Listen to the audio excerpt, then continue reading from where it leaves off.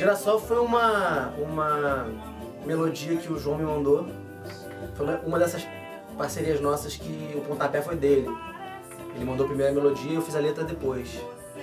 E aí na época da montagem do disco a gente ficou pensando quem era bacana chamar e tal. E como essa música tinha um arranjo de flauta, um arranjo super doce, é uma melodia doce, bonita, é, é mais um samba mesmo, assim, né? Um, um arranjo que tem características de samba mesmo. Samba cantada no final, E a música é tão bonitinha, cara. né? Essa música é uma gracinha, né? Eu conheci o João Calado no início da minha carreira artística. João é meu primeiro parceiro, meu- é o parceiro mais constante que eu tenho. Tenho várias músicas com ele, várias parcerias. E é uma pessoa que me ensina muita coisa, principalmente com relação a caminhos melódicos, a, a- ao formato mesmo da canção.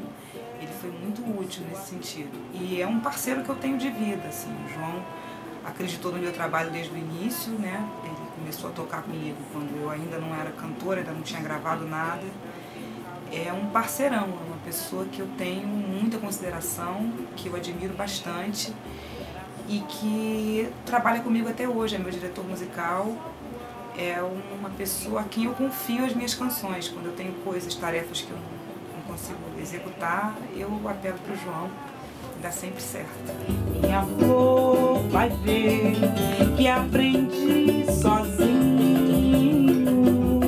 Fernando Temporão uma figura que eu conheço da Lapa, assim. Estou conhecendo agora as composições dele.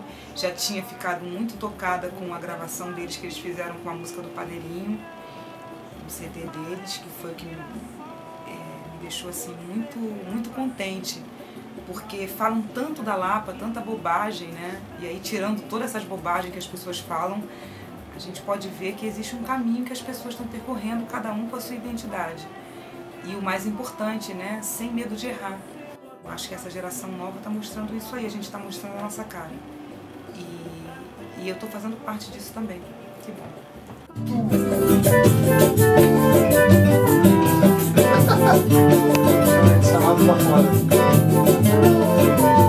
É uma música alegre, e a gente convidou a Tereza e ela topou, ela ouviu a música, gostou da música e, e veio cantar, Arrasou, né? arrasou, ficou lindo. E uma faixa que, que eu gosto muito assim do disco, uma das, das músicas que eu tenho. É, claro que eu tenho orgulho de todas as músicas, né? mas essa, essa é uma das músicas que eu tenho lá. E com a participação da Tereza, tenho certeza que vocês, vocês vão Ficou gostar bonito. bastante. É, ficou bem bonito. Uma música que